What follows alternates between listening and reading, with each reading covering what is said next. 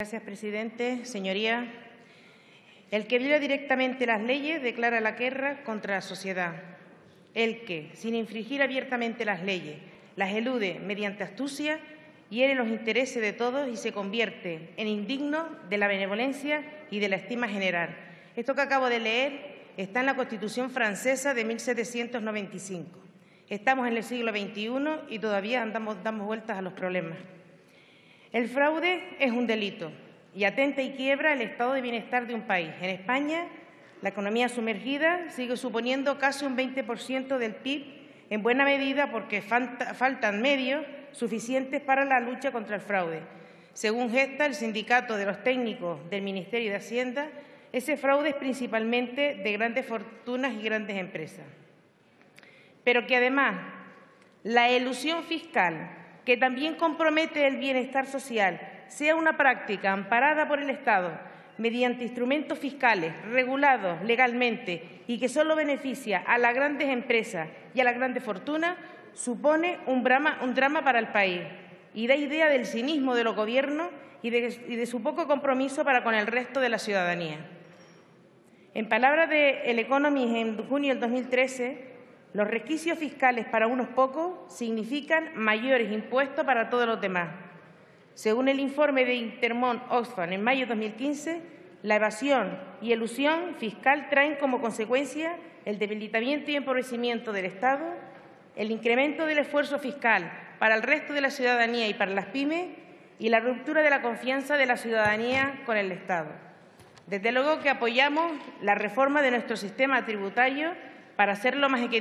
equitativamente, al mismo tiempo que se incrementa su capacidad recaudatoria y la lucha contra el fraude, como ejes principales de la política fiscal. En concreto, son dos medidas imprescindibles para mejorar nuestra ratio de ingresos públicos con respecto al Producto Interior Bruto, que en España es del 38,6%, muy por debajo de la media europea, que es de 44,9%. Y así aumentar al mismo tiempo el gasto público en general y el gasto en protección social en particular, que actualmente también se encuentra por debajo de la media europea. En concreto, las medidas propuestas en la moción, como la introducción de gravamen efectivo sobre la riqueza, la fijación de una imposición mínima en el impuesto de sociedades para las grandes empresas y la garantía de que no se reducirá la imposición a las rentas más altas en el IRPF, van en línea con nuestras propuestas de incremento de los ingresos públicos.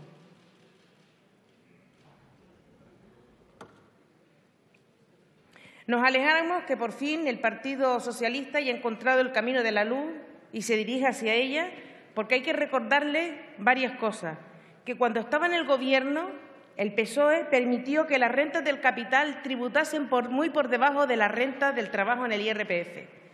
que redujo los tramos de impuestos de este, este impuesto, redujo los tramos y así lo hizo y, y le hizo perder progresividad, que incrementó el IVA, y que eliminó a Panamá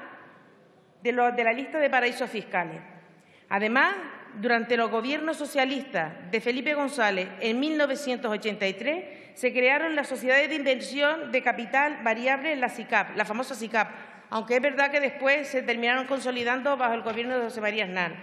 En 1995 también, bajo el gobierno de Felipe, de Felipe González, se crearon las entidades de tenencia de valores extranjeros, las ETV, que hacen de España, en la práctica, un paraíso fiscal para las empresas extranjeras. Y que en el 2009, bajo el gobierno de Rodríguez Zapatero, las sociedades, se crearon las sociedades cotizadas de inversión inmobiliaria, la SOCIMI, que exime a las empresas de tributar por el impuesto de sociedades, es decir, instrumentos para la creación de, pantallas tributarias que ni crean empleo ni aportan lo que deben al Estado. Haciendo un símil, y en palabras de nuestro compañero Joaquín Sagaceta,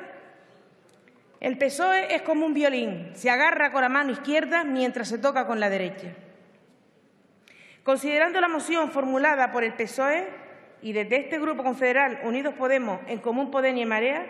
apoyamos la propuesta formulada, pero creemos que es insuficiente por lo que habría que complementarla con otras, por ejemplo, las relativas a política tributaria, una reforma del IRPF orientada a mejorar la progresividad del, impuesto, una reforma integral del IVA, ampliando la cantidad de artículos grabados al tipo reducido del 10% y, en concreto, todos los suministros, básicos, y también aumentar el número de alimentos y bebidas no alcohólicas a los que aplicar el tipo súper reducido del 4%, la eliminación de la SICAP, la GTB, la SOSIMI, por supuesto, medidas contra de lucha contra los paraísos fiscales y en lo relativo a la, lucha contra el fraude, el establecimiento de un estatuto propio para la agencia tributaria elaborado por los cuerpos funcionariales implicados, eliminación de su, eh, elección de su presidente por parte del Congreso con un contrato programa para un mandato de cinco años y elaboración de un plan plurianual de medidas de lucha contra el fraude. Muchas gracias. Muchas gracias, señora Valido.